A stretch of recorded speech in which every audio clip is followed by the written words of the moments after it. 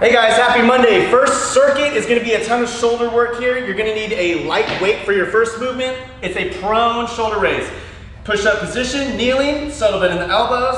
One, two, total of 10. From the side, one, two, total of 10. Make sure your shoulder blades are retracting to the point that your arms get to cover your earlobe even for just a split second. Second exercise is gonna be a push-up Superman, push-up, Superman one, push-up, Superman two, total of 10, five per side. Your third movement here is gonna be a cheat sit-up. We've introduced this before in a sandbag cycle. A little heavier weight than normal.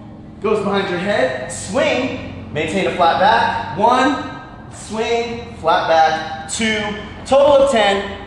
Fourth move doesn't really look or sound like a shoulder blade movement, but if you are doing it correctly, you should be feeling your shoulder blades burning.